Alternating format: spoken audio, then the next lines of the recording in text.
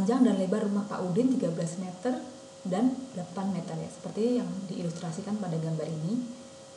Nah berarti bentuknya adalah persegi panjang ya. Nah di sini tanyakan adalah berapa luas dari rumah Pak Udin itu gitu ya. Karena ini adalah persegi panjang berarti cara untuk menghitung luas dari persegi panjang menggunakan rumus.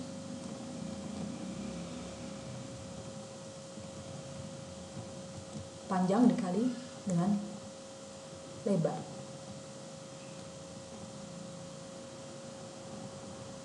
Berarti di sini kita bisa hitung luas rumah Pak Udin yaitu dengan cara mengalihkan 13 dengan 8. Sehingga didapatkan hasilnya adalah 104 meter persegi. Akhirnya luas rumah Pak Udin didapatkan hasil akhirnya adalah 104. Nah, ini adalah hasil akhir dari jawaban pertanyaan. Cukup jelas ya?